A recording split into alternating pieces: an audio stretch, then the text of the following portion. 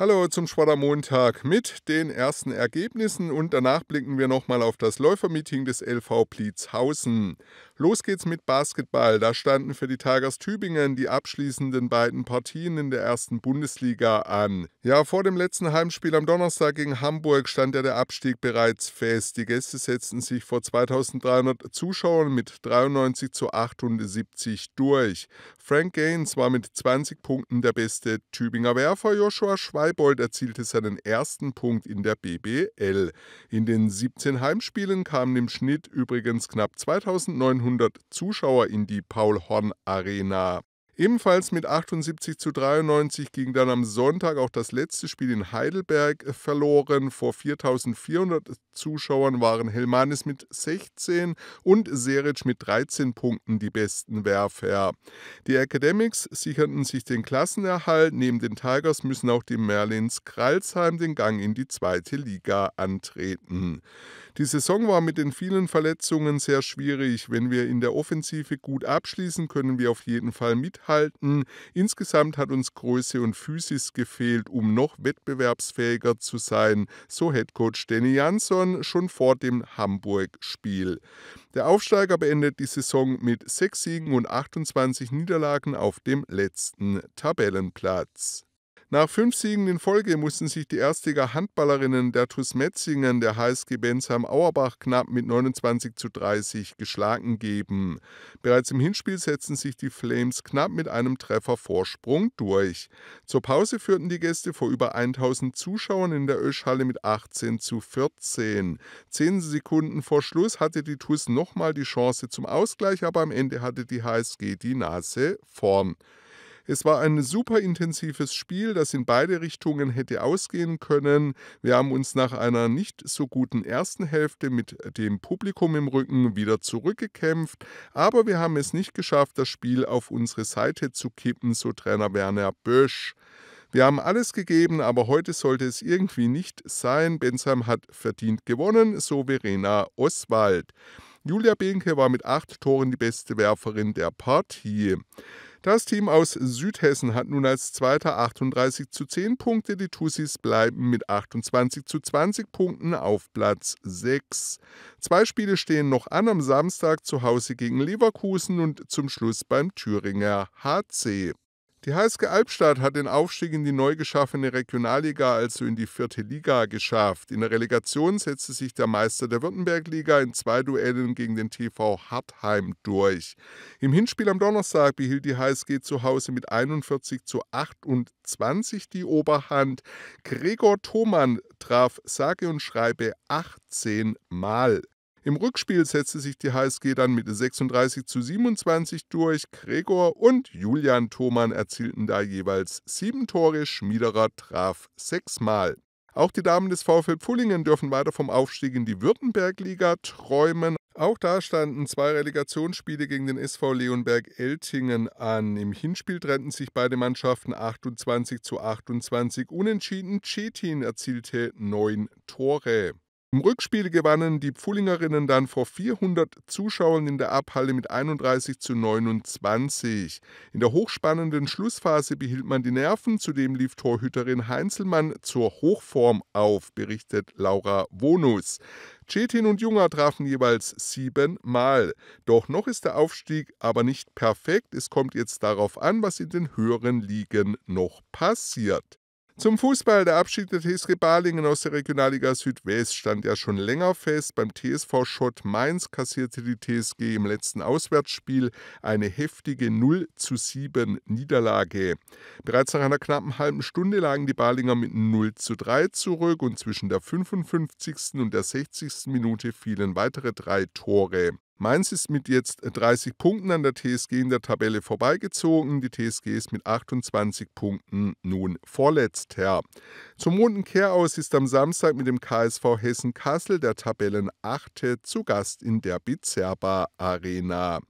Die zweite der TSG hat unterdessen den Aufstieg in die Verbandsliga perfekt gemacht. Mit 68 Punkten führt das Team von Coach Dennis Epstein die Tabelle in der Landesliga Gruppe 4 souverän an. 15 Punkte beträgt bei drei noch ausstehenden Partien der Vorsprung auf den FC Wangen.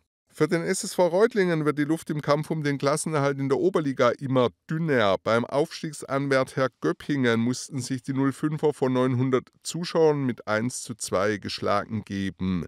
Ricardo Gorgoglione brachte den SSV nach Vorarbeit von Onesi Kuingenda nach 10 Minuten in Führung. Wolf traf nach einer Ecke 10 Minuten nach der Pause zum Ausgleich.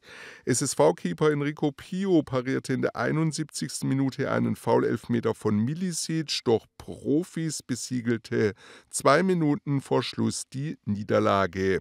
Damit holte man in den vergangenen fünf Spielen nur einen Punkt und ist auf Platz 15 abgerutscht. 34 Punkte hat der SSV auf dem Konto. Fünf Teams müssen runter, falls der Vizemeister aufsteigt, nur vier. Zwei Spiele stehen nur noch an. Am Samstag geht es zum formstarken FC Nöttingen und am 1. Juni ist dann der ATSV Mutschelbach zu Gast an der Kreuzeiche. Acht Tore sahen die Zuschauer bei der Partie zwischen den Oberligadamen des TV Derendingen und des SV Gottenheim. 4 zu 4 hieß es am Ende. Knecht und Hildenbrand drehten zunächst den 0 zu 1 Rückstand, doch bis zur Pause schlugen die Gäste dreimal zu. In der Schlussphase sicherten dann Kern und Münz per Strafstoß das Remis. Mit 19 Punkten bleibt der TVD auf Rang 9 und wird dort auch am Saisonende stehen. Zwei Spieltage vor Schluss beträgt der Abstand sowohl nach oben als auch nach unten jeweils 8 Punkte. Am Pfingstwochenende macht die Liga Pause. Zum Schluss noch ein Abstecher zum Baseball. In der zweiten Bundesliga mussten sich die Tübingen Hawks den Neuenburg Atomics mit 6 zu 13 und 5 zu 6 geschlagen geben. Drei Siege und jetzt fünf Niederlagen lautet die Bilanz aus den ersten acht Partien. Auch die Hawks haben über Pfingsten frei. Bereits am Donnerstag standen die Viertelfinalspiele im Verbandspokal an. Da sind die Hawks nach einer 3 zu 10 Niederlage bei den Eichelberg Indians überraschend ausgeschieden. Die Gammertingen Royals haben dagegen durch einen 12 zu 5 Sieg gegen Schriesheim das Halbfinale erreicht. Dort muss der Verbandsligist dann am 30. Mai nach Eichelberg. Soweit die Meldungen und jetzt gibt es also noch Leichtathletik aus Pliezhausen. Ja, richtig tolle Leistungen sahen die zahlreichen Zuschauer beim internationalen Talos Läufermeeting vor einer Woche in Pliezhausen. Wir haben ja ausführlich berichtet und wie angekündigt gibt es jetzt noch weitere Stimmen und Bilder aus dem Schönbuchstadion. Das Schöne hier in Blitzhausen ist, man hat die großen Stars, man hat die Hobbyläufer, alles irgendwie vereint und dann natürlich die Stars. Man bekommt immer Interviews, Fotos mit Gesa, mit Konstanze ja, das ist ja eigentlich auch der Sinn der Leichtathletik und des Sports ja insgesamt. Ja. Ich halte nichts von irgendwelchen abgehobenen, abgekoppelten Veranstaltungen, wo die Basis mit der Spitze nicht mehr zusammenkommt. Wir müssen in Deutschland schauen, dass wir in der Leichtathletik, aber auch in anderen Sportarten, das gilt überall, dass wir eigentlich die Basis und die Breite fördern. Nur da kriegen wir wieder die Spitze raus und dazu brauchen wir aber auch die Spitze, die irgendwo dann präsent ist bei Meetings wie unserem, um, um an der Basis auch da zu sein und, und die Verbindung herzustellen. Gab es irgendwie ein Event, das besonders, eine Leistung, das besonders in Erinnerung geblieben ist? Ja, es waren eigentlich zwei, muss ich sagen. Das eine war der Tobias Kronstadt, der hier den norwegischen Rekord, den Meeting-Rekord pulverisiert hat über die 600 Meter und da auch angedeutet hat, dass zu Wasser eventuell über die 800 Meter auch fähig ist. Also wenn er da in der besten Liste auch bei uns das hinter sich gelassen hat, das war schon, das zeugt von Weltklasse natürlich. Ja. Und was fast noch beeindruckender war, war der Auftritt von GSA Krause, wie sie über 1000 gelaufen ist und dann das 2000 Meter Hindernisrennen anschließend mit anderthalb Stunden Pause gewonnen hat. Das war zutiefst beeindruckend. Uh, yes, uh, this was my season opener, and it was the fastest season opener for me. Uh, 51.5. It's pretty good. Für mich war es die Eröffnung der Saison. Die Zeit ist sehr gut. Ich bin sehr zufrieden. Es ist mein erster Start hier in Blitzhausen und sogar mein erstes Rennen in Deutschland überhaupt. Die Bahn ist sehr gut und ich bin dem Veranstalter dankbar, dass ich hier über die 400 Meter Hürden laufen durfte. Normal geht es ja hier über die 300 Meter. Jetzt gilt natürlich der Fokus auf die EM in Rom. Und hier in Blitzhausen bin ich gerne auch im nächsten Jahr mit dabei, wenn es klappt.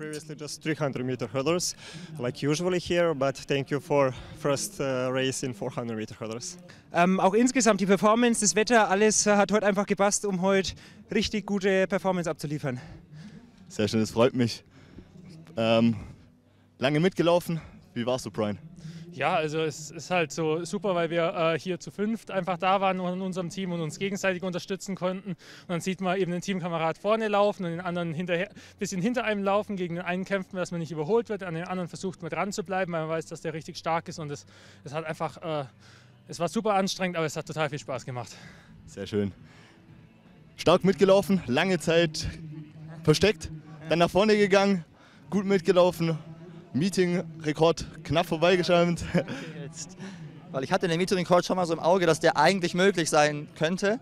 Und jetzt bin ich ihn quasi gelaufen, aber bin ihn doch nicht gelaufen, weil der andere Kollege halt halbe Sekunde schneller war. Bisschen ärgerlich, aber vielleicht komme ich nochmal wieder und äh, hol mir den noch. Klingt gut, vor allem auch im Hinblick die nächsten Jahre seid ihr immer dabei. Ja, wir, waren ja schon, wir waren schon mega oft hier, also ich glaube, ich bin hier schon vier, fünf Mal gelaufen. Ich glaube, wir haben auch schon drei YouTube-Videos allein von dem äh, Meeting hier. Also ich glaube, wir kommen immer wieder, es passt gut. Ich glaube, das wäre jetzt so der Zeitpunkt, wo wir ein bisschen eine Werbung machen können für Running Gags. Ja, folgt Running Gags auf YouTube, Instagram. wir sind cool. Wir sind cool. genau, so ein bisschen die In-Szene hier. Haben die Tausender aus Cherbourg was gebracht? Ähm, haben sicherlich schon insgesamt was gebracht, für die Hindernisse spezifisch jetzt vielleicht nicht. Ähm, ich merke schon, dass das noch neu für mich ist, die Disziplin und ähm, hat trotzdem Spaß gemacht, weil einfach super Stimmung war. Und ähm, ja, ich glaube, das YouTube-Video wird heute auf jeden Fall gut, weil wir alles dabei haben im A- und B-Lauf. Ähm, ja, ich bin trotzdem zufrieden. Sehr schön, ich sehe hier nur strahlende Gesichter. Ich wünsche euch alles Gute für die nächsten Rennen, gerade auch im Hinblick auf die Highlights, Europameisterschaft und sowas. Macht's gut, viel Erfolg. Ja, mit der EM im Juni in Rom und natürlich den Olympischen Spielen in Paris stehen zwei absolute Highlights in diesem Jahr auf dem Programm. Ja, also am besten natürlich EM und Olympia. Am besten Einzelstart. Ob das funktioniert, ob es klappt, wir werden sehen, aber es wäre natürlich so der größte Traum. Lange Saison, viele Highlights, Rom und Paris. Wie sehen die nächsten Rennen aus? Wo läufst du und wie sieht deine Saisongestaltung aus und die Pläne dafür? Ähm, genau, mein erstes 400 Meter Hürdenlauf, äh, der ist jetzt in anderthalb Wochen in Savona in Italien. Und dann sind wir jetzt eigentlich den ganzen Mai und Juni auf jeden Fall viel unterwegs, viel auf Wettkämpfen. Ähm, genau, und dann kommen ja dann schon im ja, Anfang Mitte Juni dann die Europameisterschaften. Da will ich dann ja, möglichst schon mal in einer sehr, sehr guten Form äh, oder Verfassung sein. Und ähm, ja, danach ist natürlich dann alles auf Olympia ausgerichtet und es ist ein sehr wichtiges Jahr. Wir haben viel investiert, also hoffe ich, dass es dann auch gut auszahlt. Ja, also natürlich ähm, wird der absolute Trainingshöhepunkt dann auf Paris gelegt, aber trotzdem wird man auch schon zur EM eine schöne Spitze setzen können und dann hoffe ich natürlich auch, dass ich dann bei den Wettkämpfen es mir gelingt, mein Bestes zu zeigen und mein Potenzial abzurufen. Klar, Paris, Olympische Spiele hat immer was Besonderes. Ich war auch schon bei Olympischen Spielen dabei als Zuschauer. Ist eine andere Atmosphäre. Wenn man sich das von der Leichtathletik anschaut, auch für die deutschen Athleten, ist Rom möglicherweise die interessantere Veranstaltung, weil da auch deutsche Athleten sicher wieder sehr gut abschneiden werden. Da ist einfach zwischen Europa und dem Rest der Welt gibt es eine kleine Lücke, eine kleine Kluft. Und Europameisterschaften sind immer auch irgendwie ähnlich wie jetzt hier bei uns, sind auch immer bisschen familiärere Veranstaltungen, ein bisschen kleiner, nicht so abgehoben. Da kann man eine Dauerkarte kaufen für 400 Euro für die Woche und nicht 400 Euro für eine Abendsession in Paris dann irgendwo. Also von daher ist für mich eher eigentlich auch Rom so ein bisschen das Highlight, wo ich vielleicht dann auch spontan noch runterfahren werde. Und dann natürlich 2025 hier in Blitzhausen wieder. Ja, das werden wir aller Voraussicht nach auch wieder so angehen. Da werden die Vorbereitungen in Form von erstmal Rückschau, Analysen werden da nächste Woche, übernächste Woche mal losgehen. Und dann schauen wir, was wir anders, besser machen können, müssen vielleicht auch. Und dann geht es in die Planungen. Was Gesa Krause, Carolina Kraftschick, Konstanze Klosterhalfen und Olivia Gürt zu den Top-Events in dieser Saison sagen und wie der Fahrplan für die weitere Saison aussieht, gibt es dann ebenfalls noch in dieser Woche. Was Thomas Jäckle im Hinblick auf das nächste Meeting über die krummen Strecken denkt, erfahren Sie jetzt schon. Man kann sich viel wünschen, man würde sich wünschen, dass man hier in der Region auch weiterhin auf unsere Partner setzen können, dass das Meeting in der Öffentlichkeit, bei Sponsoren, bei Förderern, Medien auf jeden Fall weiterhin auf die Resonanz stößt, wie wir es jetzt hatten, vielleicht sogar auf noch ein bisschen mehr. Da würden wir uns in der Region hier manchmal noch ein bisschen mehr erhoffen. Es gibt ja positive Ausnahmen wie RTF und andere, ja. aber es gibt trotzdem äh, nach oben auch noch Möglichkeiten. Wir haben die Unterstützung der Gemeinde. Wir hoffen, dass äh, die Gemeinde in zwei Jahren das Stadion hier die Laufbahn sanieren wird, äh, weil das für uns auch einfach überlebensnotwendig ist. Ja. Das wären so die Wünsche. Alles andere liegt dann auch in unserer Hand. Vom Wünschen allein kriegt man keine erfolgreiche Veranstaltung hin. Da steckt dann doch ein bisschen eher Arbeit dahinter. Das war's vom Sport. Kommen Sie gut in die Woche und mehr Leichtathletik gibt es dann am Dienstag. Da berichten wir über das Jump and Fly Meeting der LG Steinach Zollern aus dem Hechinger Meierstadion.